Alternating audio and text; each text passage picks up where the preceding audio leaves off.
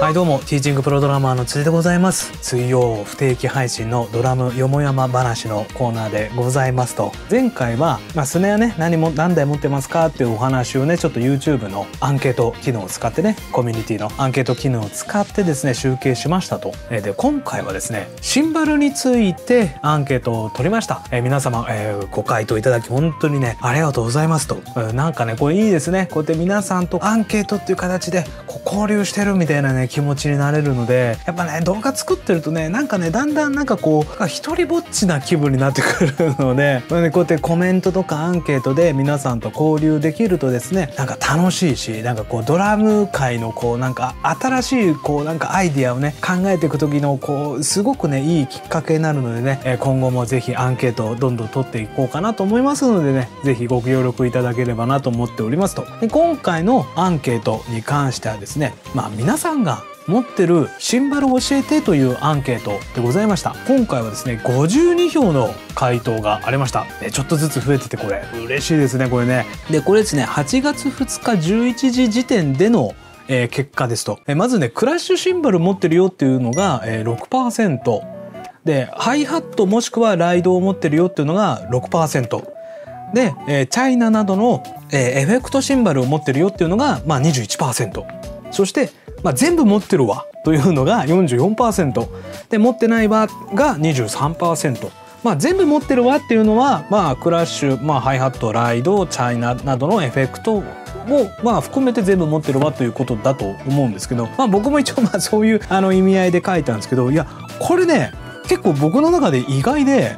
全部持ってる派が多くてちょっとね個人的にはすごいびっくりしたんですよ。やっぱりね皆さんにやっぱりシンバルとかね機材やっぱりね持ってもらいたいっていう気持ちはやっぱあるんですよ。まあお前ヤマハとかジルジャンと契約してるからだろうって言われることもあるんですけど別にジルジャンじゃなくてもいいんですよ別に他メーカー様とかでもいいんですけどやっぱいっぱい持ってくれるっていうことが、まあ、結果的にその楽器界があの盛り上がっていくことにつながっていくとだからやっぱりあの演奏する機会をもっと増やそうとかっていうふうになるとやっぱりその音楽業界もまあ音楽業界っていうかまあそんなね音楽業界なんて僕はそんな大層なことは僕は言えないんでまあ少なくともまあドラム界がこう盛り上がるっていう意味ではライブで使ったりとかこう動画でやっ撮ってみたりとかっていうのは本当にいいことだと思うので全部持ってるわっていうのがね多くてすごいびっくりしました。うん、でまあやっぱりエフェクトシンバルが多いのはやっぱりそのライブハウスにその出てライブするっていうドラマーの方がすごく多い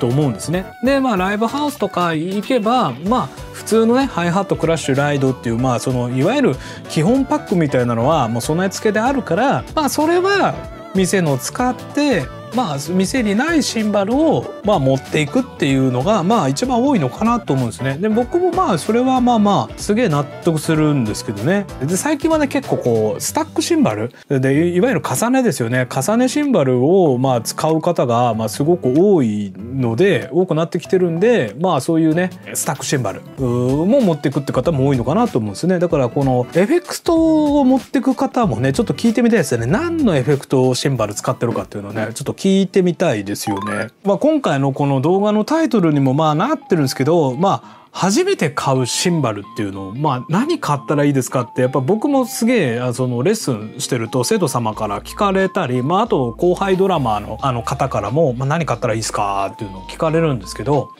まあねそのエフェクトシンバル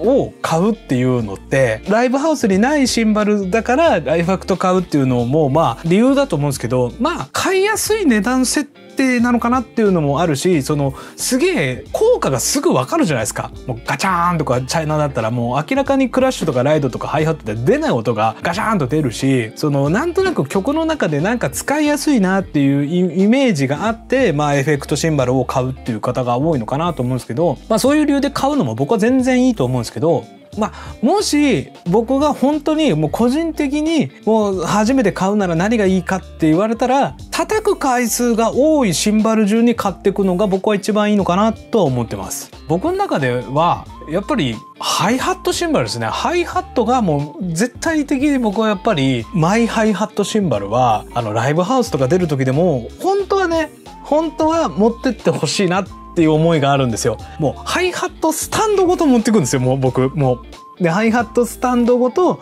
持ってってでハイハットもセットしてっていうだからやっぱりそのお店のハイハットスタンドがやっぱりその万全な状態じゃない可能性もやっぱり秘めてるんでなるべくそのもう常に同じ環境でやっぱりやりたいなっていうのがあってもうハイハットスタンドごと僕は持ってってましたけどまあそこまではねやらなくてもいいのかなと思うんですけど、まあ、なんで僕は結構そのハイハットとライドだけはせめてそれだけは持ってくようにしてたんですね。クラッシュとかチャイナとかはもう最悪泣いてもいいからハイハットとライドだけはもう必ず持ってく。もしくはハイハットと、まあ、16のクラッシュとか、まあ、一番叩く回数の多いものを自分のもう納得するシンバルを持っていくようにしてましたね。いわゆるエースシンバルみたいなのを持っていくようにするみたいな。あの自分のこだわりのあるハイハットを使うっていうのが、まあ、僕はねあのおすすめはしたいんですけど例えばねその学生ドラマーの方とかだとやっぱねハイハットって高いじゃないですか。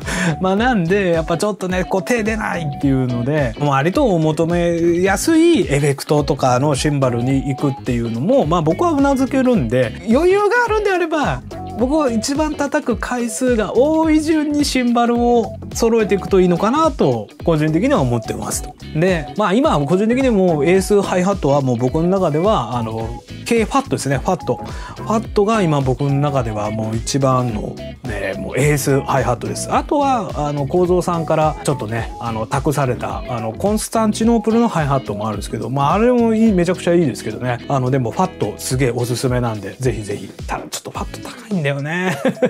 うんだからやっぱこれもねあの皆さんどんどん買ってって盛り上がっていくとねまたこう変わっていくのかなと思うんですけどここでね、あの、ぜひちょっと皆さんに募集したい内容があります。あのね、シンバルについての、こう、質問をね、ちょっと募集してますと。ちょっとね、ジルジャンの僕のアーティスト担当の方にね、今度動画に出てもらうので、その時に、まあちょっとこう、シンバルにまつわる、ちょっとした疑問などね、もしあれば、あの、このコメント欄で全然構いませんので、募集します。あの、初心者の方とか、ドラム知らないとかっていう方の質問こそ、世の中の意見なんですよ。